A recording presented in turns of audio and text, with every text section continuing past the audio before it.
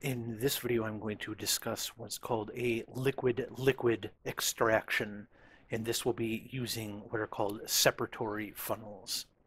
So we use two different solvents here that separate based on differences in polarity or solubility.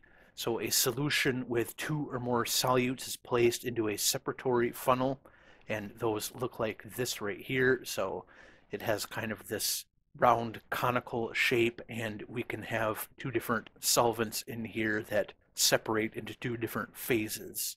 So a second solvent is added to the separatory funnel. The separatory funnel is shaken, which mixes the two solvents, and then the separatory funnel is allowed to settle. The two solvents separate, they, will look kind of like this, and so the higher density will be the one to go to the bottom. So this is a higher density solvent than that and the two solvents separate into layers. So the two solutes rather separate into the layers in which they are more soluble. So this should say solutes right here. And so these are my images that I made here. So we have, say, this is water in here and it has two different solutes. One are the black dots, the other are those more brownish dots. So we put that in there, then we add in the organic layer and shake it and then allow it to settle. And so, say these brownish dots are the less polar ones, so the more hydrophobic solutes, and then these black ones are the more hydrophilic solutes. And so, those will mostly go into the water, and the hydrophobic ones will mostly go into the organic layer. And so, then we can open this up by opening this and take the water out, and so that will then have removed the black dots there, the more hydrophilic ones. And so, we are left with with just the hydrophobic, the organic compounds here. And you could do this again. You can do this multiple times. They're called washes. All right. And so this is using the partition coefficient, which I've already talked about in several other videos. So just to quickly go through it here. So if we have a solute A in solvent 1 and it's shaken with solvent 2, then the solute distributes between the two liquid phases such that we end up with the C1 here in the solvent 1 and C2 here in the solvent 2. And then this is our partition coefficient here, which is just the ratio of those two concentrations. And so that's going to determine which of the solvents the solute ends up going into. So here is an example. And so in this example, we're going to be looking at two different ways of actually doing this extraction. So if we have an extraction process, say we have a partition coefficient that is 10, and we have 5 grams of an organic solute dissolved in our 100 milliliters of water, which will be our solvent 1. So the two ways we could do this extraction, we could either do three extractions with 50 milliliters of ether, or we could do a single one with 150 milliliters of ether. And so what we'll see is that doing the three with the smaller volume is actually going to be better than doing a single one with the larger volume. So in the first case, we have this, so here k is equal to 10, which is equal to the ratio here of our solute. And so when we plug those in, we get this. We do some algebraic manipulation, so we get 500x equals 500 minus 100x, which is just 600x equals 500. So our x equals 0.83 grams. And so that is how much is left in the solvent after we do the extraction. So we end up recovering 4.17 grams from the extraction. So after two more of those, so we do that again and again, two more times, and so we end up getting 4.98 grams out of our 5 grams of solute there. In the second case, if we do the extraction just once, but with 150 milliliters rather than the 50, what we see is we end up getting just 4.69 grams of our solute extracted. And so that means we compare this to the 4.98 grams done in the three smaller extractions. We can see that doing one large extraction is less efficient, and it's less efficient by this amount. So we are losing this much by doing just the one large extraction rather than three smaller ones, which is about 5.8% of our solute that will be remaining in the water solvent So we're trying to extract it from the water and we'll end up with some left over. And if we do three smaller extractions, we will get more of it out than if we do one large extraction. All right, so the phases here, so remember we're looking at the organic phase and the, the water or aqueous phase. And so many common organic solvents are less dense than water, but not all of them. And so having high concentrations of dissolved ions, such as sulfuric acid or sodium chloride, can increase the density of water. As such, there must be a way to determine which of the two solvents is in the phase on top. So we want to know what's on the top layer and what's on the bottom layer. A lot of these solvents are just clear, so just looking at them you can't really tell. So we want to try testing to see which one is which. So what we can do is just try adding drops of water. If the top layer is aqueous, the drops will just dissolve into it. If the top layer is organic, the drops will form droplets on top. And so that will tell you that the top layer is organic, or if it dissolves into it, that would tell you that the top layer is aqueous. And so these are just some densities of common solvents that are used. So I put pure water here in blue. I put things that are more dense than that in red and things that are less dense than that in green. And so we can see that saturated water with NaCl is more dense and saturated water with H2SO4 is even more dense yet. But then we see a lot of these common organic solvents here are less dense than water, but some of them are more dense. So DMSO, we have our methyl chlorides here, and so those are all more dense than water. And so that's why you would want to do that test because all of these are just clear liquids, and so just by looking at them, you wouldn't be able to tell whether or not they are aqueous or organic.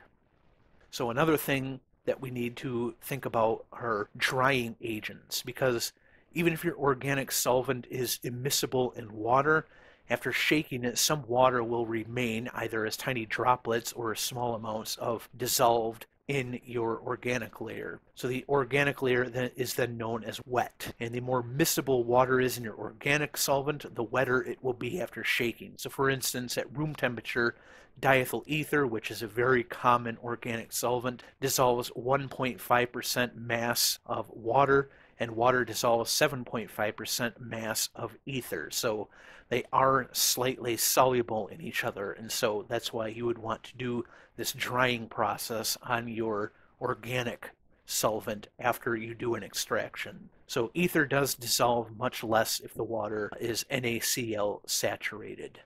So we therefore need what's called an anhydrous drying agent, usually an inorganic salt to pull the water out of the organic layer. So these are some common or uh, inorganic salts right here.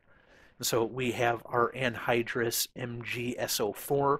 We put that into our wet solution and this will form this hydrate with the water and pull that out of solution because this will remain a solid in there and so it's just easy to filter that out afterwards.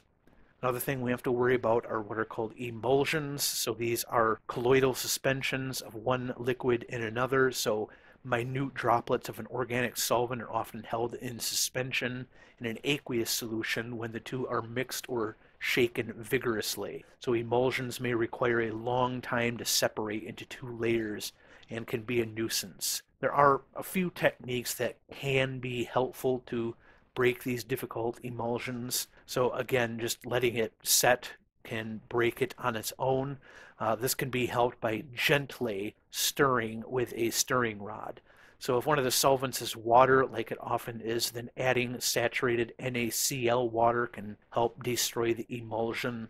So the water in the organic layer migrates into the concentrated salt solution through osmosis. In some instances, maybe a centrifuge can be used or gravity filtration could be used to try and remove those emulsions. So something else you'll use a lot when doing extractions are these rotary evaporators. So they are a motor driven device that can rapidly evaporate solvent using heating, usually in a water bath, and reduced pressure. So they will look like this. We have our water bath here, and we have this motor that can reduce the pressure inside of it. So this avoids what's called bumping, which is the creation of large bubbles that can cause loss of material and can even cause fires or break the glassware. And so the rotation, so this is going to be rotating around this way. And that spreads a thin film of the solution over the inner surface of the round bottom flask, which accelerates the evaporation. And so that's something that you often do during these extractions is you do a rotary evaporation to get rid of some of the solvent.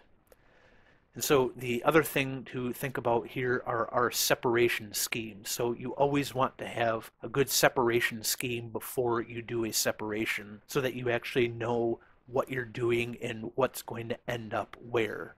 And so what you often see when doing these separation schemes are these things right here. So we have some kind of alcohol or phenol. We have an amine, a carboxylic acid, and a ketone. And so what we do is we have these in an ether layer because these are all soluble in diethyl ether or some other kind of organic solvent. And so what we'll do is add this weak base here. And so this weak base isn't going to be strong enough to deprotonate like this alcohol right here, this phenol. And so everything will stay in the ether layer, but it will deprotonate this carboxylic acid. And so that will go into the water layer. And so then we can separate those. And now we have gotten rid of the carboxylic acid. So we are just left with these three things.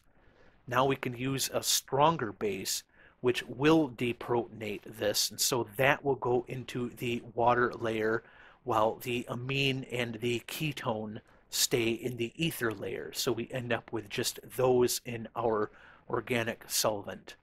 Now we can add HCl which will protonate our amine here and so that will become charged and go into the water layer while the ketone here stays in the ether layer. And so we have now separated all four of those things from each other using this separation.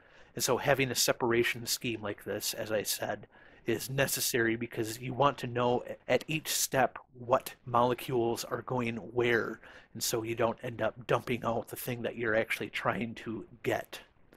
And so a little bit more of a concrete example of this I mean, it's essentially the same thing, but like I said, a little more concrete. So we can have benzoic acid here.